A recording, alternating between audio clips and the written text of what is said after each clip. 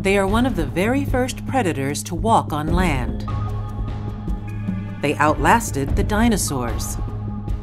Scorpions. About 1,500 species in all, living on every continent except Antarctica. Of that 1,500, only a few dozen are potentially lethal to human beings. And of those, this one, the Indian red scorpion, takes the prize as the most lethal of all. The Indian red is tiny. It's no bigger than a cigarette lighter. But it possesses a potent elixir. And when it lives near people, it often takes shelter where they do. In countries like India, scorpion stings are a serious public health issue, particularly among children, where the unclad foot of an unwary youngster can lead to a painful and in some cases, if left untreated, deadly sting.